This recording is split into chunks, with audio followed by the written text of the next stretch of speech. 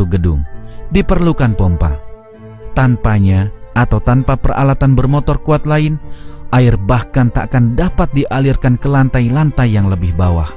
Namun, pohon dapat melakukan ini tanpa pompa atau motor.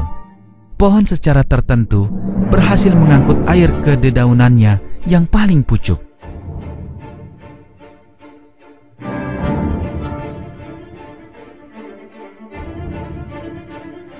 Pembuluh di dalam akar dan batang dirancang untuk memanfaatkan tekanan permukaan air.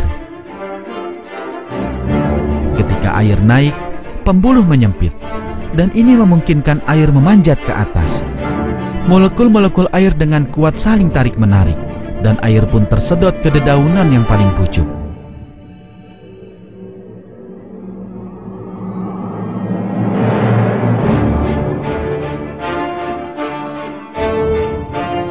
Allah yang Maha Perkasalah yang menciptakan sistem pembuluh pada dedaunan dan struktur air secara serasi satu sama lain. Sebagaimana dinyatakan dalam ayat Al-Quran berikut. Allah yang kasih sayangnya tak terhingga telah menciptakan tanaman untuk manusia dan makhluk hidup lain. Allah lah yang telah menciptakan langit dan bumi dan menurunkan air hujan dari langit. Kemudian dia mengeluarkan dengan air hujan itu berbagai buah-buahan menjadi rezeki untukmu.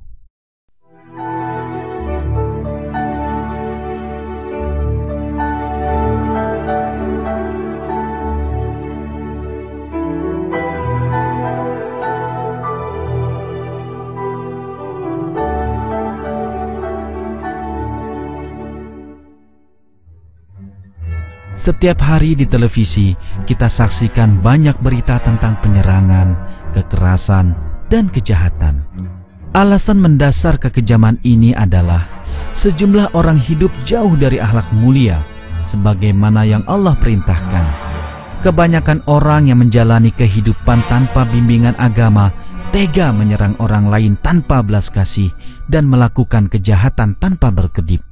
Pendorong utama perilaku kejam adalah karena orang tidak takut kepada Allah sebagaimana mestinya. Mereka tidak sadar atau memilih untuk melupakan bahwa mereka harus bertanggung jawab di hadapannya.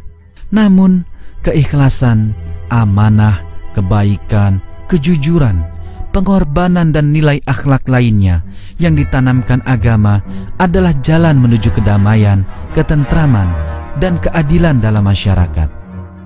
Kita sering mendengar berita baru di media tentang bencana alam. Seseorang dapat ditimpa bencana di dunia ini kapan saja.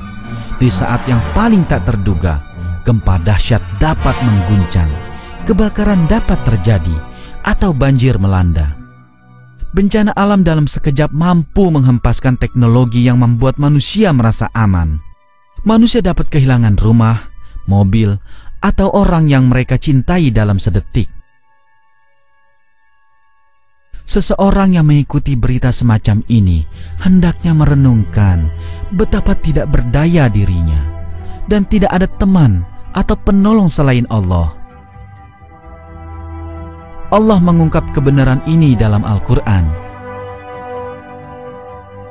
Hai manusia, kamulah yang berkehendak kepada Allah, dan Allah dialah yang maha kaya, tidak memerlukan sesuatu lagi maha terpuji.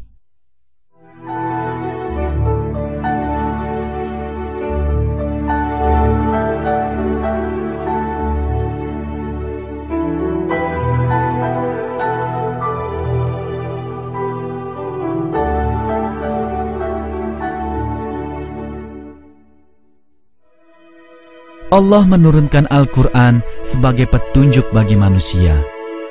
Yang sepatutnya dilakukan setiap orang adalah merenungkan setiap ayatnya. Dalam Al-Quran, Allah mengajak kita memikirkan banyak hal. Sebagai contoh, dia menyuruh kita memikirkan penciptaan diri kita sendiri.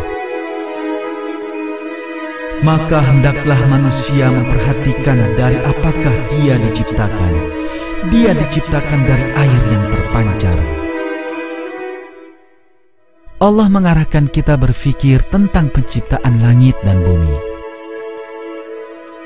Sesungguhnya dalam penciptaan langit dan bumi dan silih bergantinya malam dan siang terdapat tanda-tanda bagi orang-orang yang berakal yaitu orang-orang yang mengingat Allah sambil berdiri atau duduk atau dalam keadaan berbaring dan mereka memikirkan tentang penciptaan langit dan bumi seraya berkata Ya Tuhan kami tiadalah engkau menciptakan ini dengan sia-sia.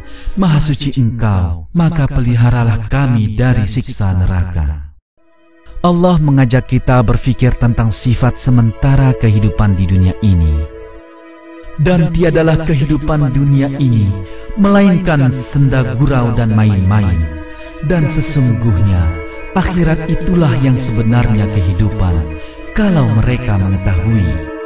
Maka sesuatu apa pun yang diberikan kepadamu itu adalah kenikmatan hidup di dunia dan yang ada pada sisi Allah lebih baik dan lebih kekal bagi orang-orang yang beriman dan hanya kepada Tuhan mereka mereka bertawakal. Allah menyeru kita memikirkan betapa seluruh alam diciptakan demi kepentingan manusia.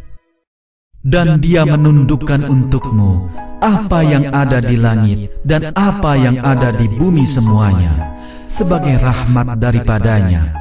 Sesungguhnya pada yang demikian itu benar-benar terdapat tanda-tanda kekuasaan Allah bagi kaum yang berfikir.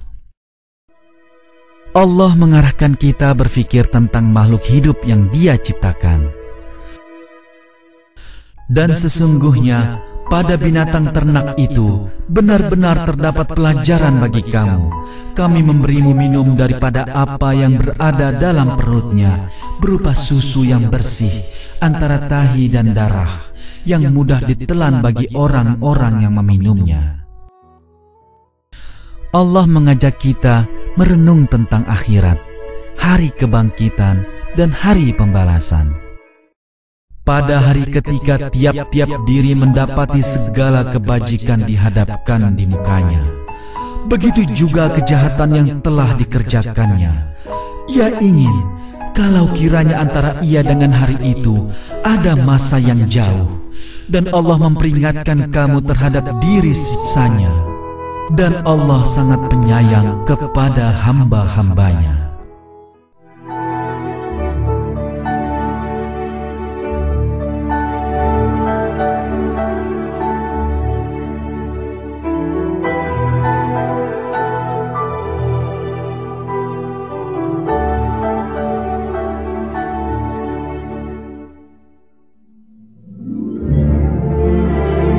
Seseorang yang berpikir akan memahami rahasia ciptaan Allah dan kebenaran tentang kehidupan dunia ini.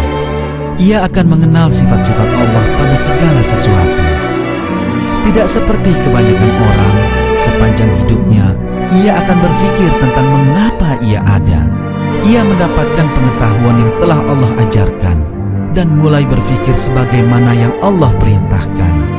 Alhasil, ia akan lebih banyak merasakan kebahagiaan dalam siraman rahmat Allah dibandingkan orang lain. Dan ia tidak perlu merasa khawatir atau menyibukkan diri dalam ambisi duniawi.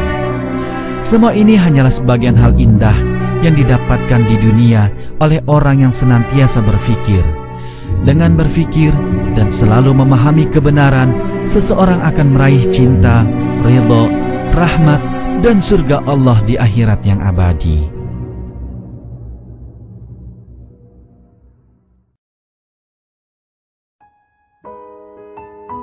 Oleh karena itu, hadapkanlah wajahmu kepada agama yang lurus sebelum datang dari Allah suatu hari yang tak dapat ditolak kedatangannya. Pada hari itu, mereka terpisah-pisah. Barang siapa yang kafir, maka dia sendirilah yang menanggung akibat kekafirannya itu. Dan barang siapa yang beramal salih, maka untuk diri mereka sendirilah mereka menyiapkan tempat yang menyenangkan agar Allah memberi pahala kepada orang-orang yang beriman dan beramal salih dari karunia-Nya. Sesungguhnya Dia tidak menyukai orang-orang yang ingkar.